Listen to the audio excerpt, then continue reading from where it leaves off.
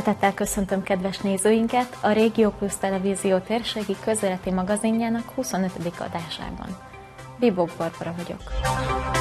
Ezúttal Tóth Tibor Hévízgyörg polgármestere lesz első vendégem, aki beszámol a Hévízgyörgi Általános Iskola pályázati forrásból megvalósult akadálymentesítéséről.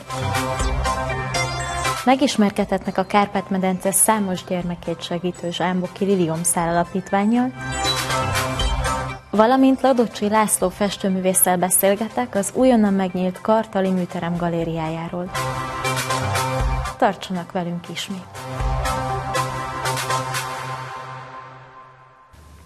A közelmúltban megvalósult a Hévízgyörki iskola akadálymentesítése, melyet az önkormányzat az Új Magyarország Fejlesztési Terv Közép-Magyarországi Operatív Program keretében benyújtott pályázat alapján valósított meg. Szeretettel köszöntöm stúdiónkban Tóth Tibort, Hévíz György polgármesterét. Köszönöm, polgármester úr, hogy elfogadta a meghívásunkat. Örömmel tettem eleget ennek a meghívásnak. Polgármester úr, milyen alapokra épült a pályázatnak a benyújtása Hévíz Györkön? Mivel a törvény már 2000-ben előírta, hogy a közintézményeket akadálymentesíteni kell, ezért mi 2000 óta azon törekedtünk, hogy az intézményeinket tudjuk akadálymentesíteni. Amikor 2003-ban fölépítettük az új óvodánkat, már ott is követelménynek állítottuk azt, hogy tehát legalább részben akadálymentes legyen. Majd 2006-ban sikerült az egészségügyi intézményünket is akadálymentesíteni. Most az előző képviselőtestület pályázatot nyújtott be a Adi Endre utcai általános iskolának az akadálymentesítésére, mint egy 30 millió forint értékben. Ezt a pályázatot sikerült tehát el is nyerni. Ez a, ez a pályázat magába foglalta az iskolának a komplex akadálymentesítését. Tehát magyarul, mivel ez egy emeletes épületről van szó, tehát kétszintes épület, tehát kompletten akadálymentesítve lett volna a földszint, és, és az emelet is. Tehát természetesen, ha emeletről beszélünk, akkor lift is van. De mivel az épületnek az adottságai olyanok, hogy sokkal több pénz kellett volna ennek a megvalósítására, ezért ezt a programot át kellett, hogy dolgozzunk, mert abba a 30 millió forintba nem fér bele ebbe az összegbe. És ezért most azért, hogy a pénz ne vesszen el, különféle engedélyeket beszereztünk, a Váltitól megkértük az engedélyt, hogy módosíthassunk, és így úgy döntöttünk, hogy a, csak a földszintet akadálymentesítjük. Említette polgármester úr a komplex akadálymentesítést, ami alatt ugye nem csak azt érthetjük, hogy az iskola teljes akadálymentesítése, ami ugye jelen pillanatban nem is valósult így meg ilyen szinten, de komplex akadálymentesítés alatt érthetjük azt is, hogy nem csupán mozgássérültek részére, hanem látás, illetve hallássérült emberek részére is bizonyos Igen, lépéseket pont, tettek. Pontosan az, az, az jelenti azt, hogy nem csak akik kerekesszékkel közlekednek, hanem a, gyengé, a vakok és a gyengén látók is igénybe tudják venni ezt az épületet. A belső terek tekintetében milyen akadálymentesítési munkálatok zajlottak le az iskolában? Először is a folyosót új burkolattal láttuk el, és a saját anyagában, de más színnel van a vezetőszín felfestve. Kialakításra került két akadálymentes WC, azon kívül kialakítása, illetve cserére került 12 akadálymentes ajtó, azon kívül a két bejáratot is, bejárati ajtót is akadálymentes, mindegy két millió forint értékű ajtókra cseréltettük ki. Hogyha a tantermeket tekintjük, akkor a tantermeken belül mi az, ami még elemként szerepel akadálymentesítés címszó alá? A terben szerepelt hat darab úgynevezett akadálymentes padnak a, beszerzése, ezt a kivitelező maradéktalanul teljesítette, tehát az osztálytermékben hat darab pad el lett helyezve. Igen, illetve ezen kívül, ha jól tudom, egy úgynevezett mobil indukciós hurok is eszközként telepítve lett az iskolába, ami pedig ugye a hallássérülteknek az információhoz jutását segíti. Ezek Igen, ez a, ez a pályázatnak a része volt, és ezt is meg kellett valósítani. Ezzel a lehetőséggel is éltek. Milyen önrészsel járt egyébként ez a pályázat, polgármester úr? Másfél millió forint önrészt kellett az önkormányzatnak ehhez tenni, ugye hát lényegében 10 a mert mondom most a bekerülési költség az 15 millió forint volt. A település vezetőjeként hogyan értékeli a visszajelzéseket, hogyan látják a lakosok ezt a lehetőséget, amit itt a pályázattal elnyertek? Örülnek, ha arra gondol, hogy az akadálymentésítés sikerül, örülnek neki. A múlt héten volt falugyűlés, ott már fel is szólaltak, és közölték, hogy nagyon örülnek, hogy az iskola ennek az akadálymentesítésnek a kapcsán az alsó szintje szinte teljes egészében megszépült, megújult. Ugye itt építkezésekről beszéltünk, de volt-e valamilyen engedélyeztetési kötelezettségük ezzel kapcsolatban? Ez nem építési engedélyköteles tevékenység, tehát nem kellett erre. Abszolút nem kellett, tehát ez is megkönnyítette itt a munkálatokat. Hogyan választották ki a vállalkozókat, akik létrehozták, megvalósították ezeket a terveket? Meghívásos pályázat alapján három kivitelezőt választottunk ki, azokat megversenyeztettük, és aki a legmegfelelőbb árat adta, aki ugye hát kötött volt az ár, azzal kötöttünk szerződést. És elmondhatom, mert ugye már a műszaki átadás is megtörtént, hogy hát a munkákat jó minőségben határidőre elvégezték. Ezt örömmel hallom egyébként, hogy egy ilyen komplex akadálymentesítés itt a térségben ismételten létrejött egy településen, és úgy látom, hogy polgármester úr is büszkén nyilatkozik erről. Azt szeretném megkérdezni, hogyha ilyen szép eredménnyel lezárjuk most ezt a 2011-es évet, akkor vannak-e más elképzelések, tervek a 2012-es évre nézve? Az elsődleges célunk az, 2012-ben is, hogy az intézményeknek a zavartalan működését biztosítsuk. Mivel van több elnyert pályázatunk is, tehát e, ez mellett azt célul tűztük ki, hogy ha bár súlyos anyagi gondoknak nézünk elébe, hogy valahogy az önerőt előteremtsük, hogy ezek, ezt a pénzt is ne hagyjuk elveszni. Értem. Én további sok sikert kívánok Hévíz Györknek a jövőbeli tervek megvalósításához és polgármester úrnak pedig ahhoz, hogy megfelelően és sikeresen koordinálja ezeket a lépéseket. Köszönöm szépen. Köszönöm, hogy a vendégünk volt. Én is köszönöm.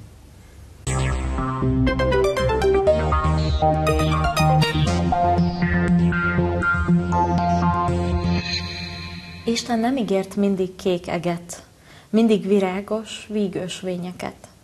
Ború nélkül derűt, árnyék nélkül fényt, és fájdalom nélkül békét nem ígért. De ígért erőt minden naphoz, munkához nyugalmat, fényt utathoz.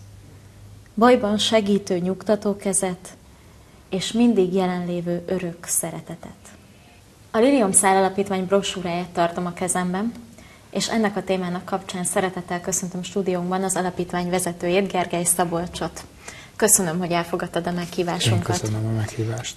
Ti egy nagyon szép ügyért dolgoztok, és nagyon szép eszméket, célokat vallotok magatokénak, ugyanis azzal az alapgondolattal jött létre a Lilium Szár Alapítvány, hogy nem csak Magyarországon, hanem a Kárpát-medencében élő gyermekek részére biztosítsatok egy olyan lehetőséget, ami hozzásegíti őket a sportoláshoz, a kultúrák megismeréséhez. Hogyan is zajlik ez a dolog a ti alapítványotokban? Hát mi ezt egy fehér foltnak tartottuk, Magyarországon, illetve hát lehetséges, hogy nem ismertük az összes alapítvány munkáját.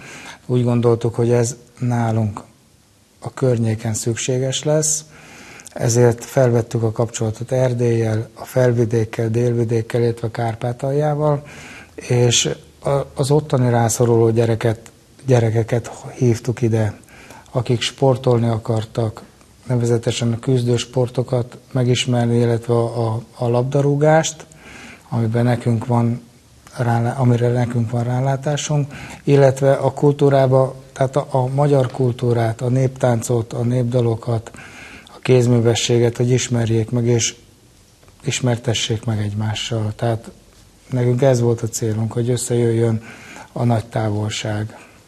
2010. júniusában fogalmazódott meg ez az ötlet a részletekről.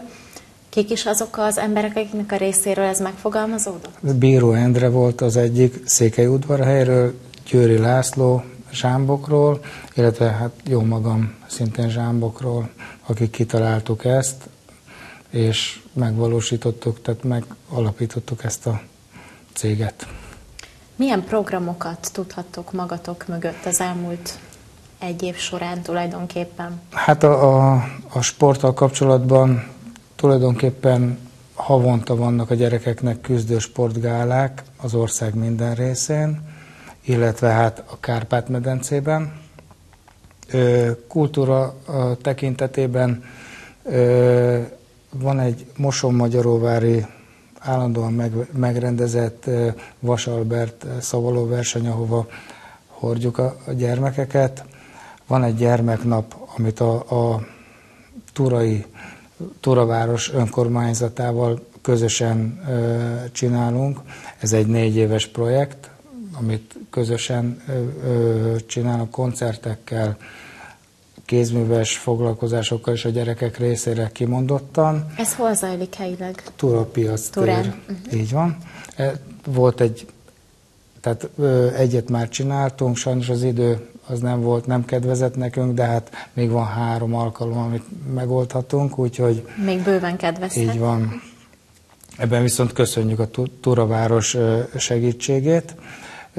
Van egy saját kezdeményezésünk, a minden évben megrendezünk az Adjátok vissza a hegyeinket című rendezvény, amiben egy Kárpát-medencei gyermek megsegítésére gyűjtünk. Jelen esetben, ami történt most, az Beregsomba egy árva kisgyereknek gyűjtöttünk, illetve iskoláztuk be, és indítottuk el az életbe jövőre majd más lesz, tehát mindig kisorsolunk valakit, aki, aki nagyon rászorul. Aztán a gyerekeket, hogy a hit is átjárja, minden évben kivisszük Csíksomjóra, Búcsúra, hogy érezzük Isten lehelletét. A Böjte Csaba féle alapítványjal kapcsolatot tartva, tehát az ő hite segít minket abba, hogy tudjunk tovább haladni. És mondom, a, a sportrendezvények azok, azok mindig e, átszövik az életünket, és e, van egy, ami Vácon e, színjátszó és versmondó verseny, egy országos, arra is visszük a gyermekeket az egész Kárpát-medencéből. Alapvetően tehát a sport mellett gyakorlatilag a művészeti ágakban igen, is igen. jeleskedtek, és ha jól értem, akkor elég nagy kapcsolati hálóval rendelkeztek. Ez támasztja alá az úgynevezett cseretábor programotok is. Így van.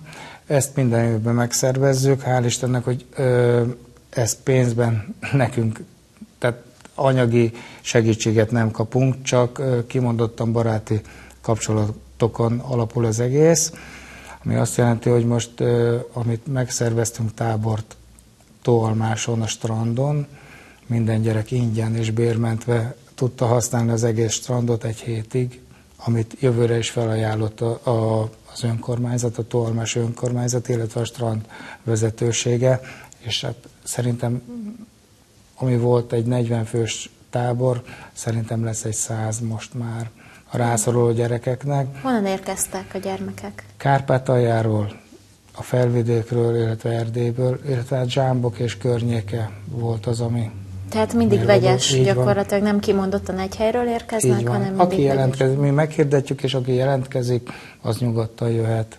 És a, a szülők segítsége az, ami még nagyon sokat jelent nekünk, tehát a, a, az élelmezésbe, a, a ruhás, ruházásba, tehát a gyerekek felruházásába, amit az egyik családnál kinőtt a gyerek, azt átadjuk a másiknak, tehát egy, tulajdonképpen pénzmozgás nálunk nincsen. Milyen korosztályra kell itt gondolni a gyerekek tekintetében? Hát tulajdonképpen a magzati kortól az egészen a 20 évesig, tehát nincsen megszabva. Aki rászorul, és gyermek, az mind megkapja tőlünk a segítséget. Annak biztosítjátok azt, hogy kiemelkedőség lehetősége legyen. Milyen háttérmunkálatokat folytattok? Az a mag, akiket az elején említettél, akik megfogalmazták az ötletet, vagy akár akik azóta hozzá. Nagyon sok segítségünk van, tehát említhetném a Bagi Teréz anyát, Balázsné Katalint, aki összekoordinálja, hogy hol van az országban felajánlott bútor, ruha, stb. Mi azért elmegyünk, elhozzuk a gyerekeknek, tehát ő az, aki ezeket koordinálja nekünk. A rendezvényekre ugye tehát figyeljük a, a felhívásokat, és már megyünk. Aztán van egy Ort Mihály nevű színész barátunk, aki a színjátszó gyerekeket oktatja, okítja a színjátszásra. Ő neki tudunk nagyon sokat köszönni, és hát mi vagyunk már csak az alapítók a háttérbe, akik az egészet mozgatjuk. Ezzel a sok teendővel, amit elláttok, nem csak a gyermekeknek segítetek, hanem azt gondolom, hogy a szülők válláról is bizonyos terheket vesztek le, és említetted már a szülőket, de ugye másmilyen relációban jelentek itt meg, mint segítők, de ebben a vonatkozásban viszont ti vagytok a szülők segítői. Hát igen, megpróbáljuk levenni a szülők válláról a gondot, tehát ha nagyon anyagiasak vagyunk, kiszámoljuk, hogy egy gyermeknek a, a sportoltatása, illetve a különböző hobbi szakkörökre eljárása mi anyagi terhet jelent egy szülőnek, és ha azt a gyerek nem, kap, nem tudja megkapni, az neki egy nagyon nagy lelki törés. Tehát mi ezt próbáljuk a szülők válláról levenni, illetve próbáljuk azt megoldani, ha már beleölt x évet a gyermek egy sportba, vagy akár a, a, a néptáncba, akkor azt tudja kamatkoztatni felnőtt korába is. Tehát mi a sportba azt hiszem, hogy fel tudunk soroltatni világbajnokokat, Európa bajnokokat, magyar, többszörös magyar bajnokokat, a néptáncba pedig, tehát a Gödöllő Néptánc Együttesnél táncolnak gyermekek, a Kókai Néptánc Együttesbe táncolnak gyermekek, akiket segítettünk. Úgyhogy... Nagyon színes a paletta ezek alapján. Hogy lehet veletek felvenni a kapcsolatot? Hol vagytok megtalálhatóak? Hát interneten nem, mert mi sajnos nem tudunk ezzel foglalkozni, illetve hát kukák vagyunk az internethez, viszont telefonon bármikor. Tehát mi kapcsolatban vagyunk a Turai családsegítővel, illetve hát a Hévíz Györki családsegítővel, hogy bármikor, bárhol, illetve Személyesen nagyon sokan zsámbokon vagyunk. Értem, tehát ha valaki személyesen úgy gondolja, hogy szeretne leülni és beszélgetni veletek, akkor Akkor zsámbokon tudunk találkozni, igen. A Lilium Szál Alapítvány, ha jól tudom, akkor nagyon szívesen fogad támogatásokat, felajánlásokat, és milyen formában várjátok ezeket? Tulajdonképpen, ha most humoros akarnék lenni, akkor 70 millió forint kellene nekünk, hogy elmenjünk Havajba, de nem. Bármire, tehát egy rossz cipő, amit valaki kinőtt, vagy egy, egy, egy bútor, aki, amit valaki megunt, nekünk az is segítség, és nagyon nagy segítség. Tehát bármilyen jellegű tárgyi felajánlás is. Így van. Vagy akár a kinőtt gyermekruhák, játékok, amit korábban Igen. már említettél. Van azonban nektek az alapítványon kívül egy másik tímetek is, ami Pitbull néven fut. Erről mit tudnál elmondani nekem? Hát ő a Pitbull téma, ami összefogja az alapítványnak a sportolóit. Nálunk ez egy küzdősport egyesület. Tehát az ökölvívóktól a ketrecharcosokig megtalálható bárki. Itt tudunk felsorolni világbajnokokat, Európa bajnokokat, magyar bajnokokat, illetve profikat, akik, akik járják a világot a, az alapítvány segítségével. Tehát gyakorlatilag ez a tím az, aki a sportolási lehetőséget biztosítja, Igen. illetve lehetőséget Igen. és időket, helyszíneket szerez arra, hogy a tehetségek részt Igen. vehessenek különféle hát, megmérettetésen. Mi felajánlottunk több településnek is, hogy nem csak a, a küzdő sportokban jeleskedőket várjuk, hanem esetleg a labdarúgásban jeleskedőket is, tehát Kerepes, Kerepesen van egy fotballklub, ahova ha tehetséges a gyerek, akkor el tudjuk vinni, tudjuk vállalni azt, hogy feljárjon edzésre, ha őt kiválasztják. Tehát az a labdarúgás része. Egyelőre meg sajnos ilyen szűk körökbe mozgunk. Volt egy kézilabda szakosztály, és csak sajnos az megszűnt, mivel nem volt elég gyermek. Én azt gondolom, hogy csodálatos dolog az, amit ti itt tesztek. De ezt hogyan éled meg a mindennapjaidban? Nehéz. Nehéz, mert sokszor mi is nélkülözünk. Tehát, tehát van, amikor Azért, otthon sem merem mondani, hogy, hogy kértek egy gázpalackot, és otthon nincs feltöltve. Tehát nehéz. De hát majd egyszer fönn elszámolunk, és lehet, hogy jó lesz. Odafönt mindig megadják Igen. azt, amit ide lent te megadtál, ti megadtatok. Én kívánom azt, hogy a jövőben is további sikeres és hasznos programokat tudhassatok magatok mögött majd, és azt kívánom, hogy minél több gyermeket találjon meg a ti általatok nyújtott lehetőség, hogy minél többen élni tudjanak ezzel, és minél több szülőnek a terhéről le tudjátok venni ezáltal a, a válláról le tudjátok venni ezáltal a terheket. Hát így legyen. Köszönöm. Köszönöm, hogy a vendégünk voltál. Köszönöm.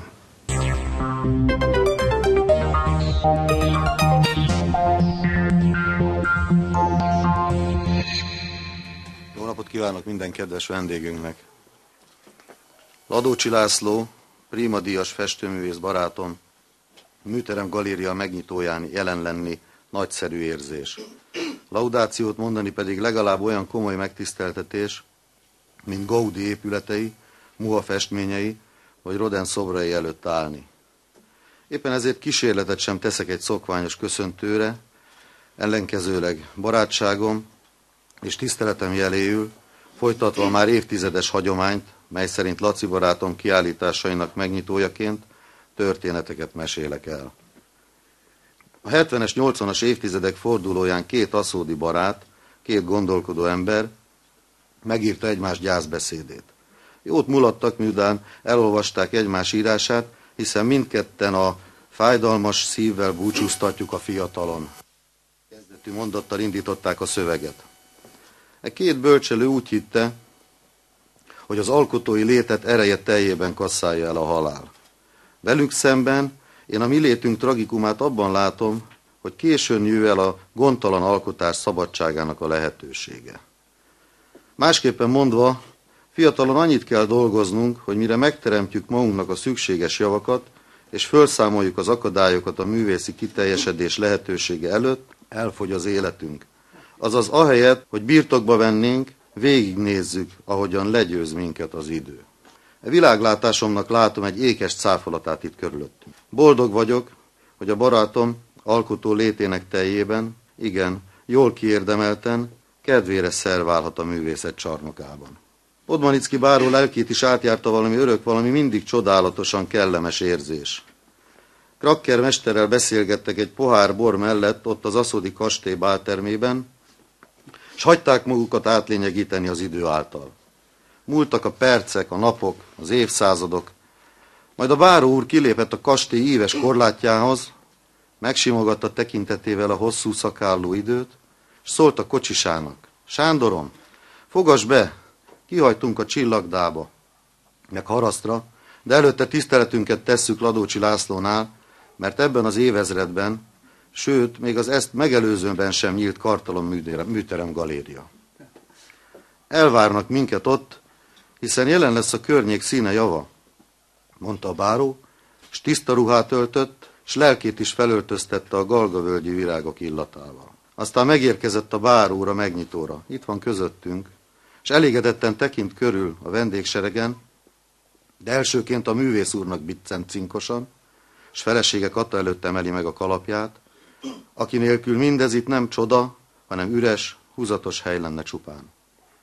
Majd a művész úr szülei felé hajol, kedves mosolyal arcán, és kicsit meg is szorítja a szívét Laci bácsi és Mária néni tekintete, akik nagyon büszkék fiúk földi pályafutására. De itt vannak a gyermekek is mind, nyugtazza a báró úr. Petra, Barna, Luisa Márk. De eljöttek az evangélikus gimnázium tanárai és festőművésze is, Ladócsi művész úr elődei, Séner Mihály, Felten Armand, Rihli Emil, Végvári János. Nagy szeretettel jöttek, nyugtázza Báró úr, és int feléjük, arra a fenyőfa felé, ahol az árnyékot a mai napon felszárította a remény. De együtt ünnepelnek Ladócsi Lászlóval a pályatársak, a barátok, Fedinec Atanáz, Lőrinc Ferenc, Kressz Albert, Odler Zsolt, Jekken Péter, Monori Sebestyén, Pék Zoltán, Gódor András. De sokan tárták ki szívüket Ladócsi László irányába, akik korábban még nem hagytak erre felé lábnyomot. Gerzson Sarolta, Fehér László, Gerzson Pál, Opánszki Tamás, Barabás Márton. Szépek a fények, ahogyan Laci mondani szokta, s a hangok s illatok ünneplőbe öltöztek.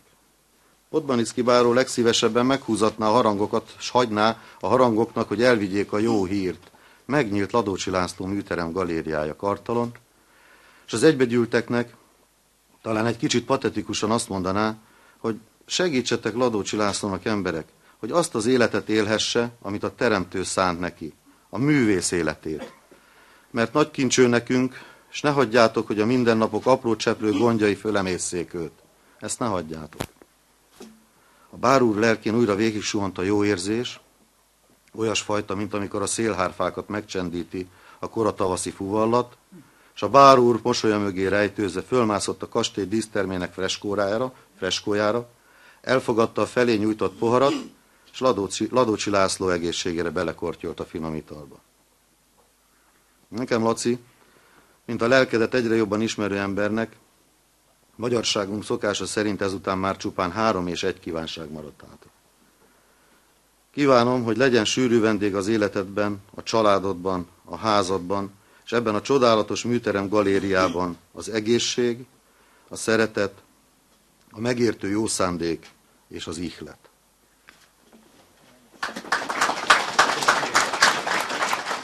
Ladocsi László rajztanár, festőművész és kartali lakos. Korábban kedves nézőink már találkozhattak vele az Ismeretlen Ismerős című műsorunkban, de aki valamilyen oknál fogva nem látta volna az adást, az most ízelítőt kaphat nem csak az ő élet útjából, hanem abból a nagyszerű lehetőségből is, amit ő megvalósított kartalon a közelmúltban. Szeretettel köszöntöm Önt László itt a stúdiónkban. Beszélgessünk akkor első körben az életútról. Rajztanár és festőművész. Hogyan alakult ez a vonulat az életében? Hát annak idején ikonfestőként kezdtem a pályafutásomat. Hát erről már meséltem régebben. Gyakorlatilag iparművészként indultam, művészi másolatokat készítettem ikonokról. Aztán, amikor már vagy pár százat megfestettem, akkor úgy éreztem, hogy most már vehetem a bátorságot magamnak. Ahhoz, hogy feldolgozzam az ikonokat, vagy újra értelmezzem nagy táblaképekben. És igazából az első kiállításom, az, az önálló kiállításom az erről szólt. Ikonfeldolgozások és ikonok párosítva együtt. Hát nagyon szerették az emberek, ezt hosszú éveken keresztül csináltam. Aztán tovább léptem egy picit, elkezdtem akvarellezni, főleg az utazásaim során ilyen kis emlékképes lapokat készítettem akvarellel. És aztán az annyira tetszett az embereknek, olyan jó sikerült kiállítás, hogy az első ilyen nagy kiállításom, amit száz képet csináltam, hogy aztán akvarellezni kezdtem, és most temperával festek. És ez együtt tulajdonképpen mindegyik működik. Most is talán kevesebb ikont festek, mint régen és emellett pedig a szakmát továbbadja és tanítja a szodon és kartalon is. Igen.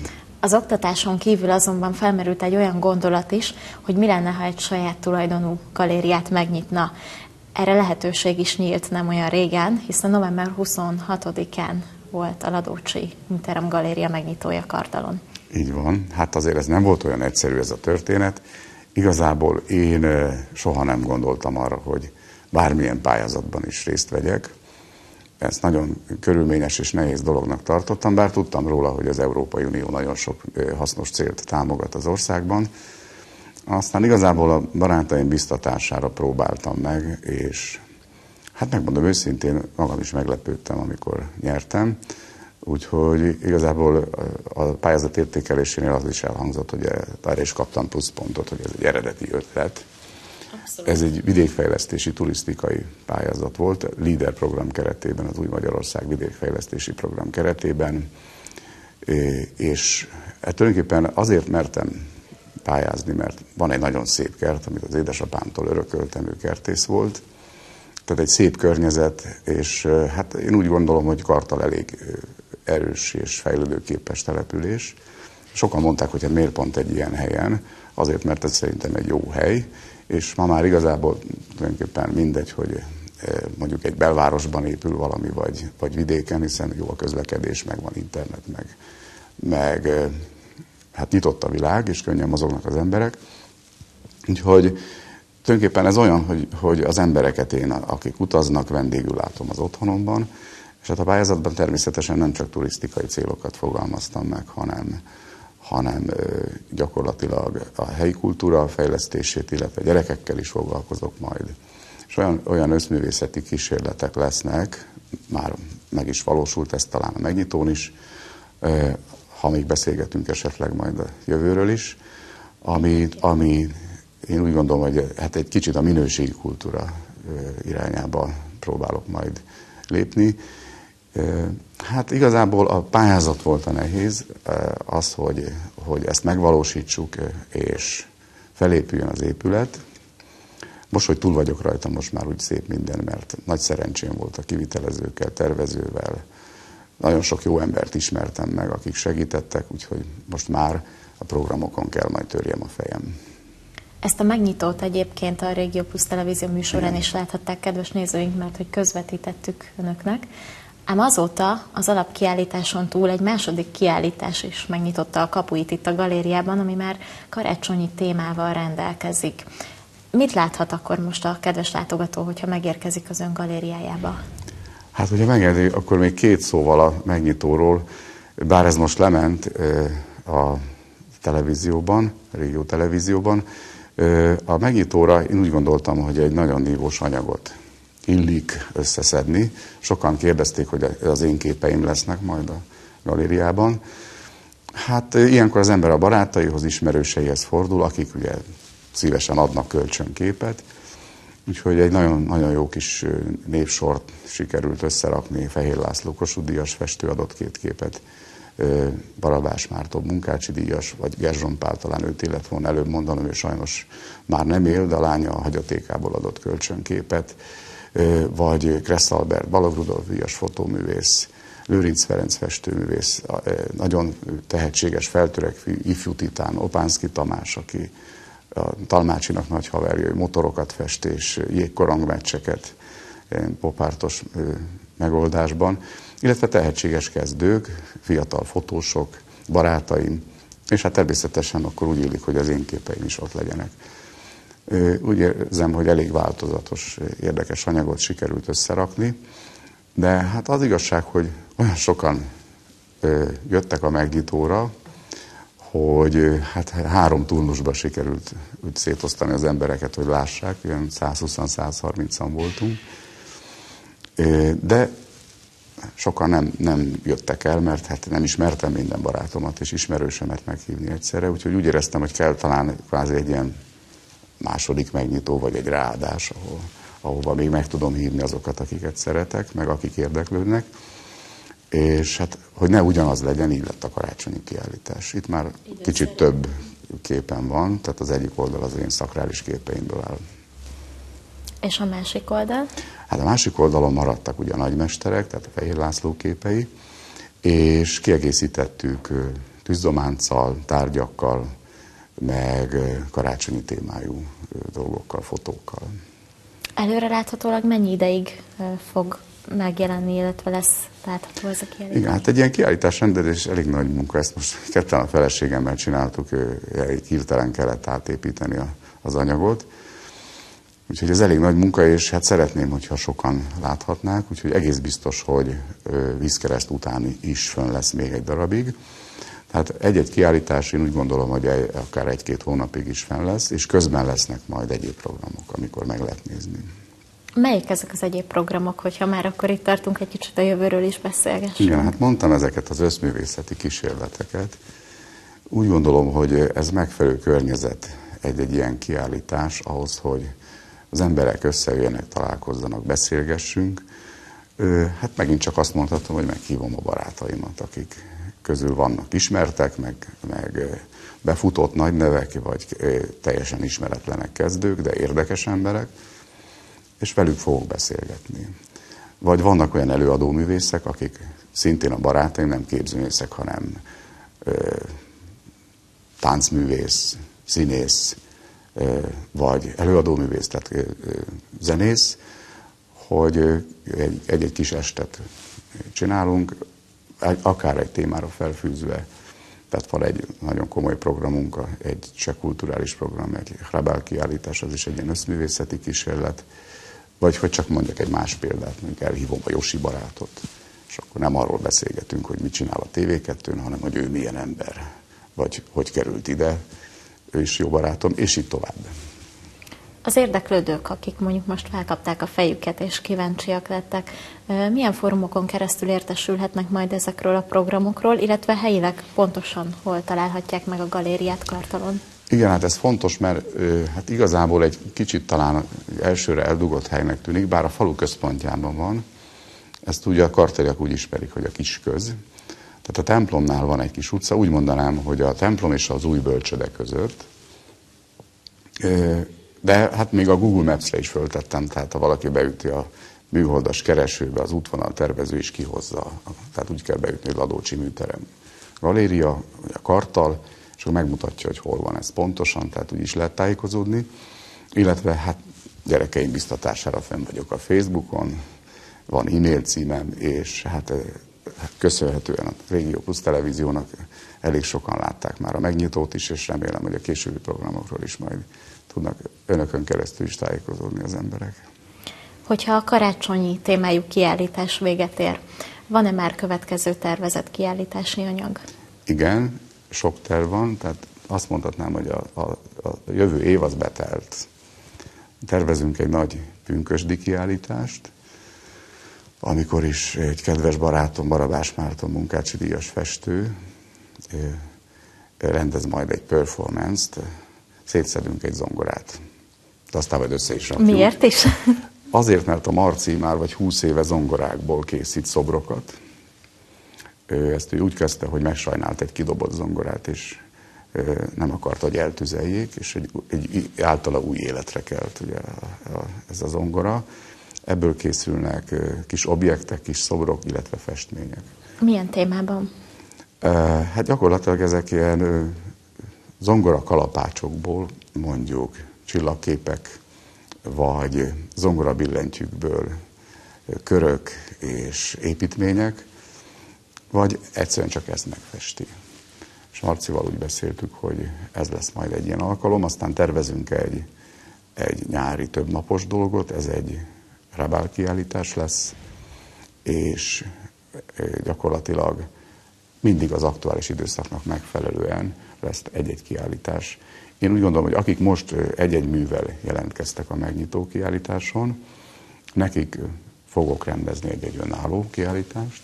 Tehát itt említettem Lőrinc Ferenc nevét, Kressz Albertet, Opánszki Tamást, és gyakorlatilag szeretnék lehetőséget biztosítani olyanoknak, akik még ismeretlenek, de jók. És szeretném őket vendégül látni tulajdonképpen a, a kertünkben.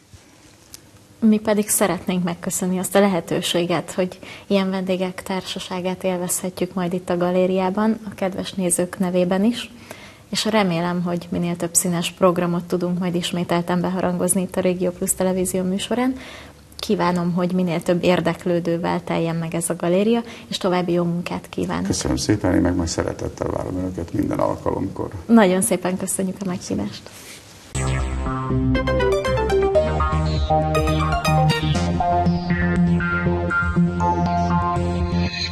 Önök a Porta 25. adását látták. Egész évi figyelmüket megköszönve kívánok mindannyiójuknak békés, boldog, áldott karácsonyt. Tartsanak velünk a jövő évben is. Viszontlátásra!